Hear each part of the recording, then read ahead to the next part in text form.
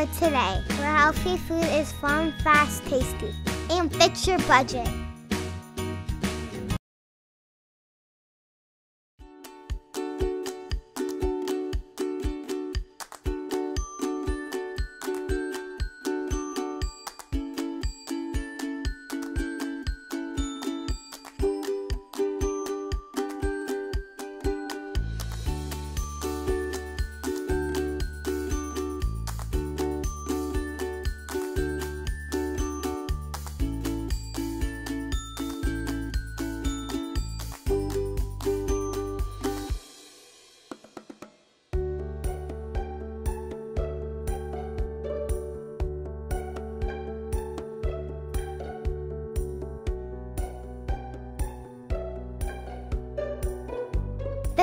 foodhero.org today, where healthy food is fun, fast, tasty, and fits your budget.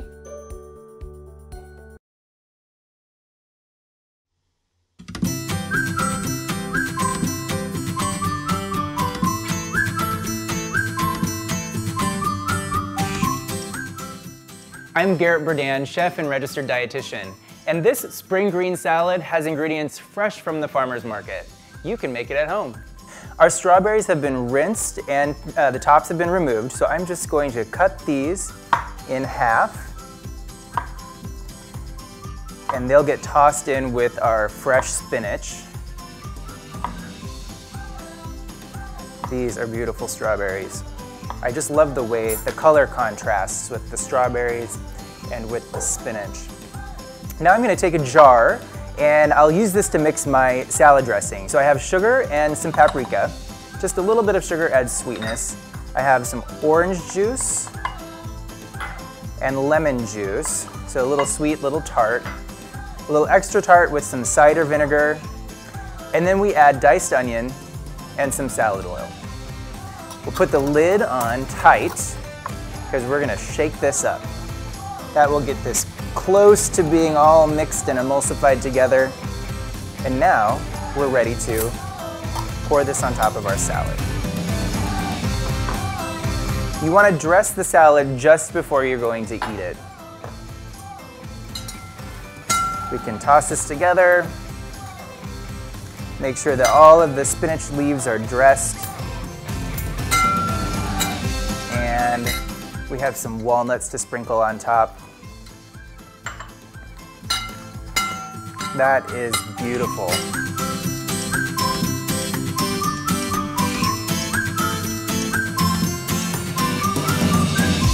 This could be served as a side salad, but it can also be a refreshing spring entree with a little protein.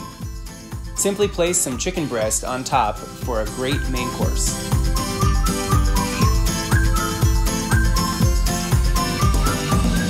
You can find the spring green salad recipe at foodhero.org.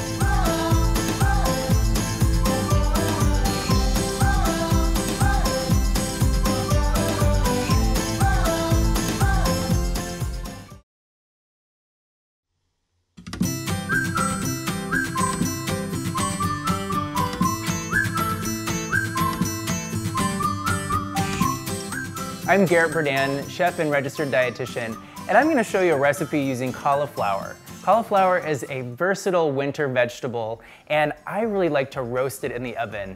Roasting draws out some of the natural sweetness and really gives it almost a nutty flavor.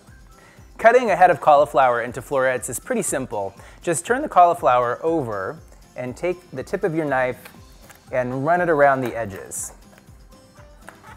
You're just basically removing each floret from the main stalk.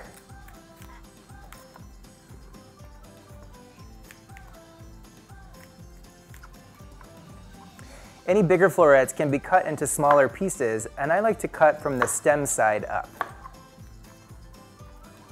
All right, I'll transfer all of my cauliflower florets to my baking dish. All of these little bits will brown up nicely. And keeping the cauliflower piled,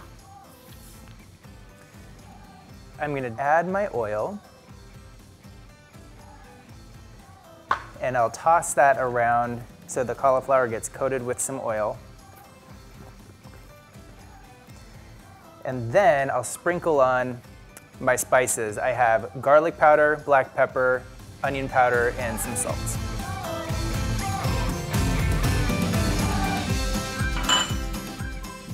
I'm gonna make sure this cauliflower is in a single layer on the sheet pan, and I like to try to turn it cut side down because we'll get some nice browning on those cut sides. The browning is really gonna develop a lot of flavor. This cauliflower is ready for a 400 degree oven.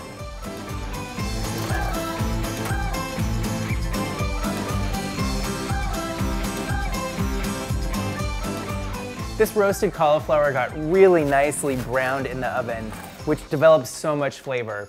You know, this family-friendly recipe is even great for infants eating solids. You can mash that or puree it for them. You can find the roasted cauliflower recipe at foodhero.org.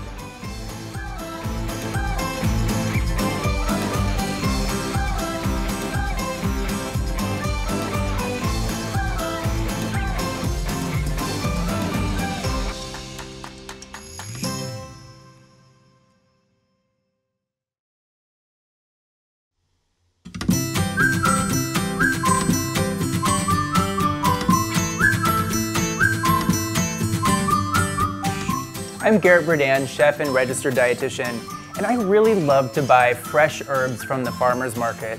You can find so many different kinds from parsley and basil to oregano and chives.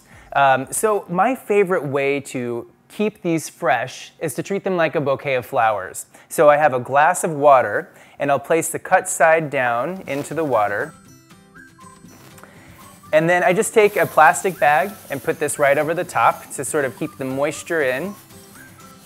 And we'll store this in the refrigerator until we're ready to use it. I like to use fresh herbs in a lot of different ways. I mean, they can be incorporated into a lot of different dishes, whether it's stirred in and mixed in or just sprinkled on top for extra flavor and color. Today I'm gonna use this fresh parsley in a tabbouleh salad. It's easy to take the parsley off the stems by just placing it on your board and gently with your knife trimming off those broad leaves. The stems down on this end are a little too tough to eat, but up top they're nice and tender. So I'll bunch the parsley up on my board and make a few big cuts through the pile, keeping my fingertips curled under. Then I'll switch positions and make some big sweeping cuts through the leaves. I'll pile this up one more time.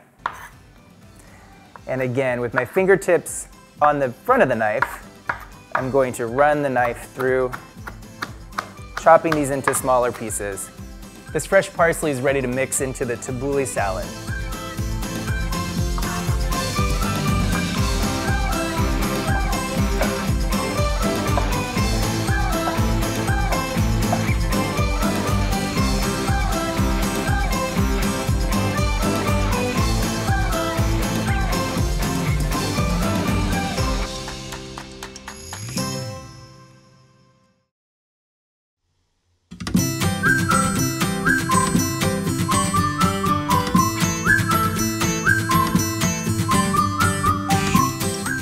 I'm Garrett Berdan, chef and registered dietitian, and I'm gonna use this Oregon-grown kale to make crunchy kale chips.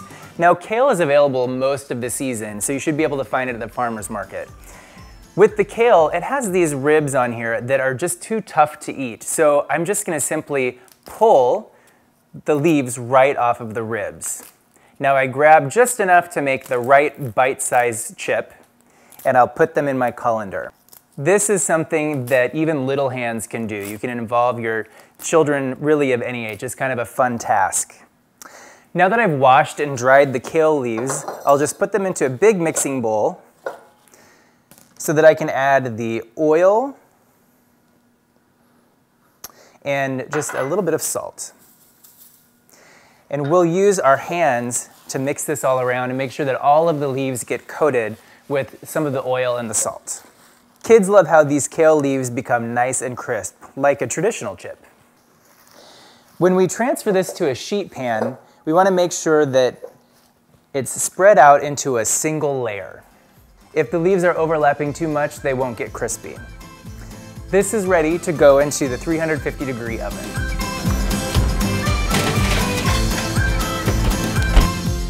These kale leaves should be crisp and brittle, and they're really ready for snacking anytime.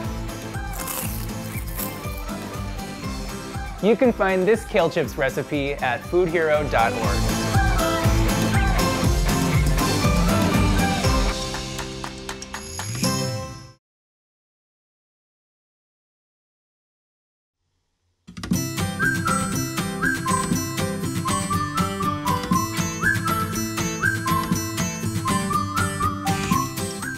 I'm Garrett Berdan, chef and registered dietitian, and I'm about to make this farmer's market salsa with Oregon grown produce.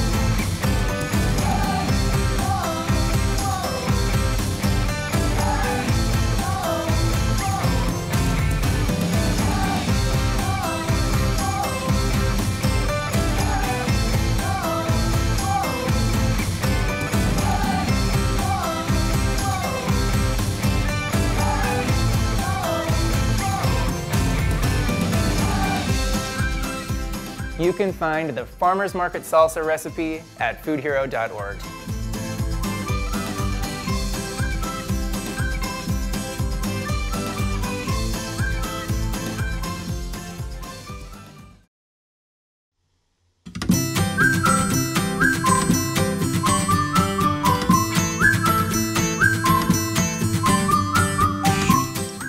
I'm Garrett Berdan, chef and registered dietitian, and I'm gonna make a chicken cabbage stir fry. Now this is such an easy recipe to make weeknights, um, and it's a great way to use your farmer's market cabbage. So with our pan already heated, I'm gonna go ahead and add my cooking oil, and I'm gonna distribute this around the pan so that the bottom gets nicely coated.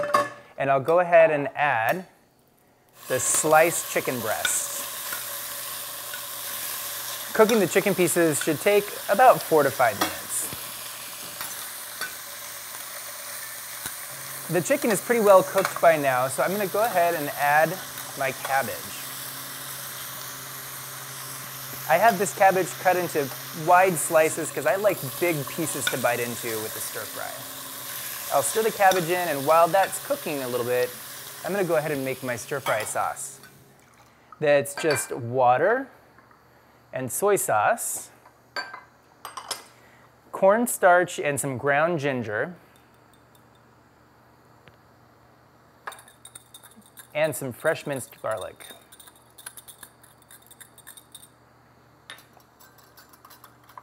We'll whisk this together to make sure the cornstarch gets incorporated into the liquid. And we can pour this sauce in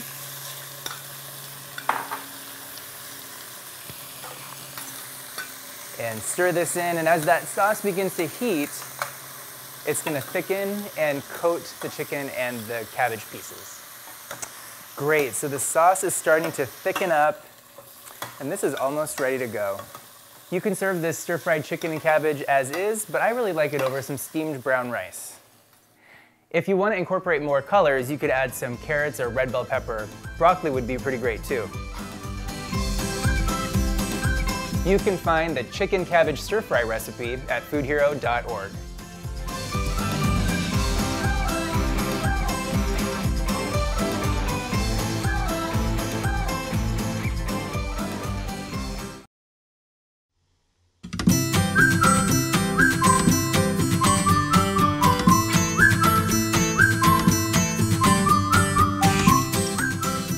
Hi, I'm Garrett Berdan, chef and registered dietitian, and today I'm gonna be using winter squash.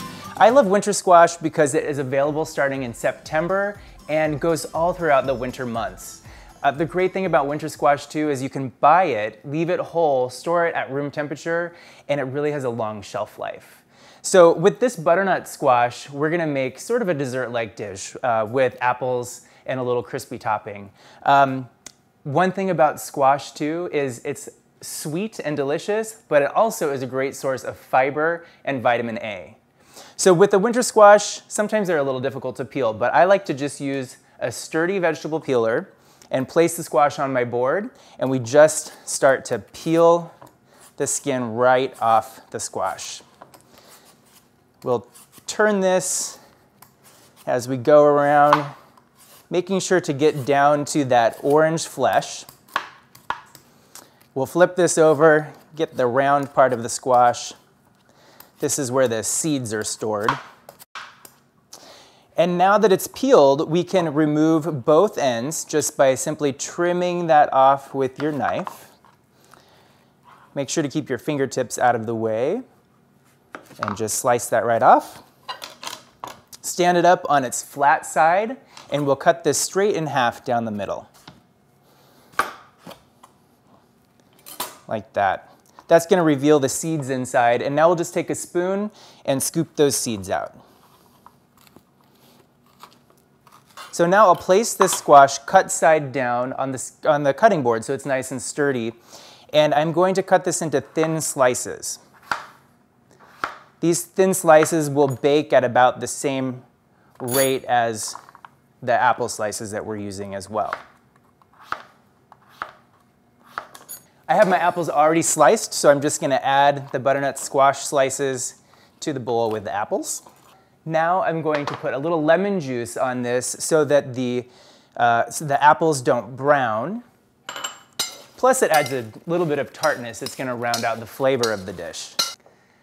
Now I'll mix together the brown sugar, cinnamon, cornstarch, and a little bit of salt. This will add some sweetness and a little spice to our dish. Think of this almost like a crisp crumble or a pie.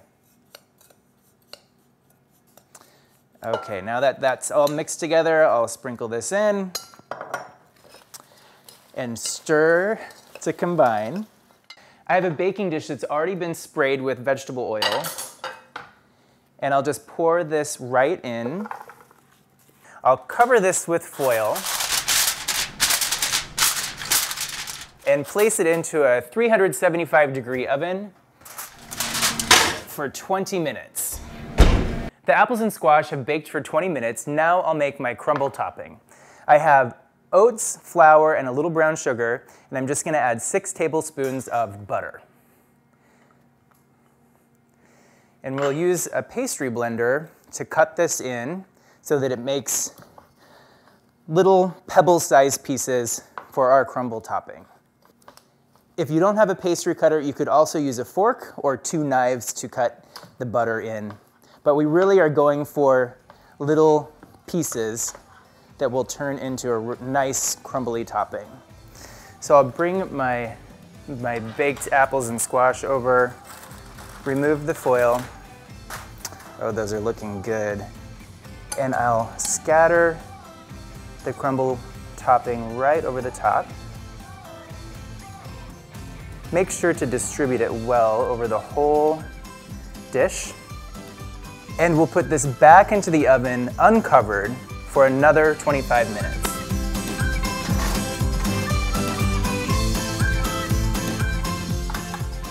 I like this butternut apple crisp served warm. I think you will too. You can find this family recipe and more at foodhero.org.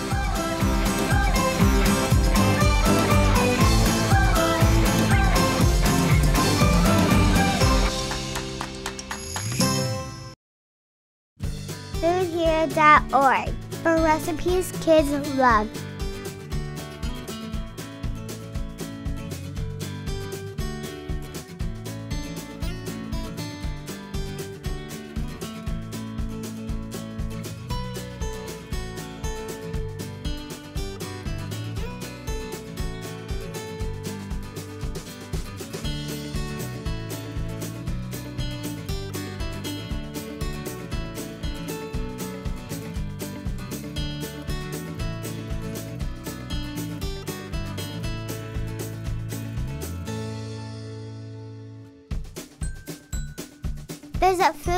foodhero.org today, where healthy food is fun, fast, tasty, and fits your budget. Foodhero.org for recipes kids love.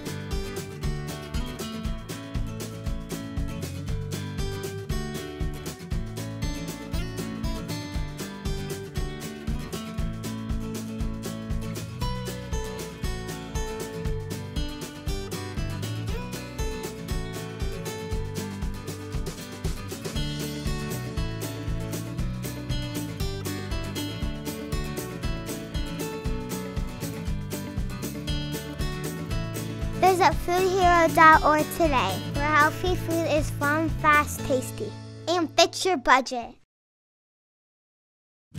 Foodhero.org for recipes kids love.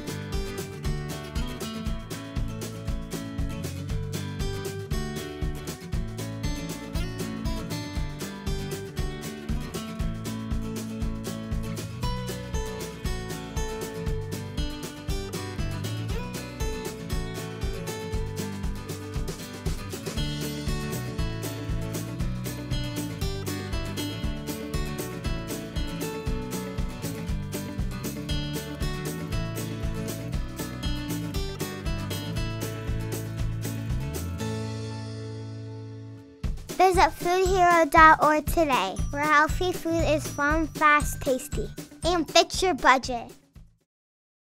Foodhero.org for recipes kids love.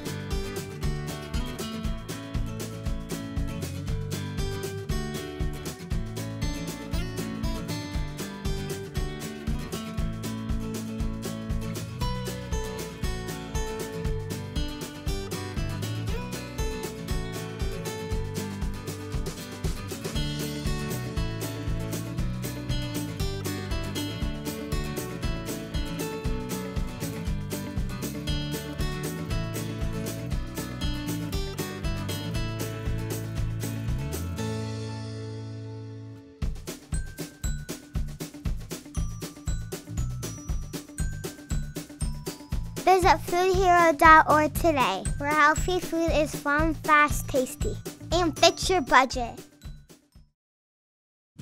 Foodhero.org for recipes kids love.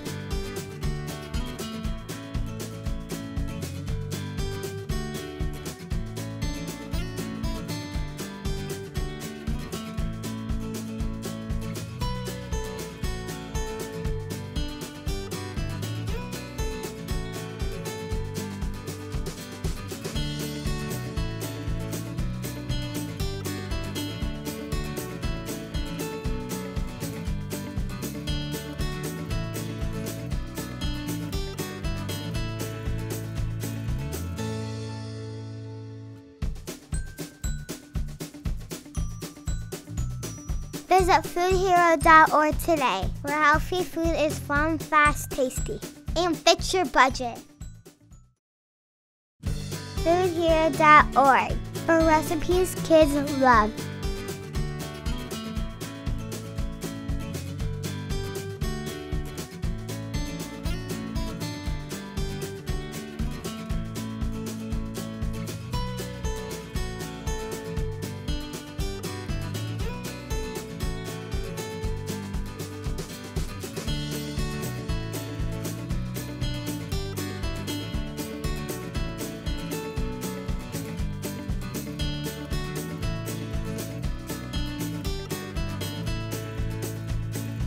Visit foodhero.org today, where healthy food is fun, fast, tasty, and fits your budget.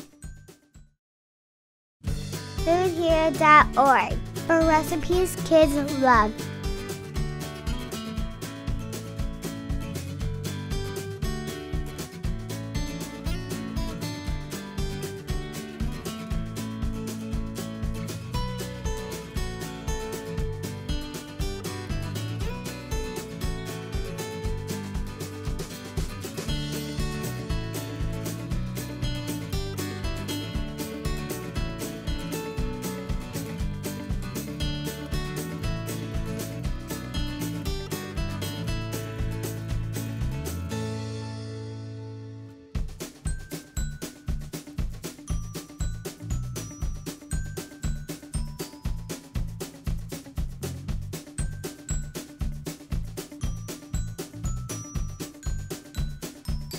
foodhero.org today, where healthy food is fun, fast, tasty, and fits your budget.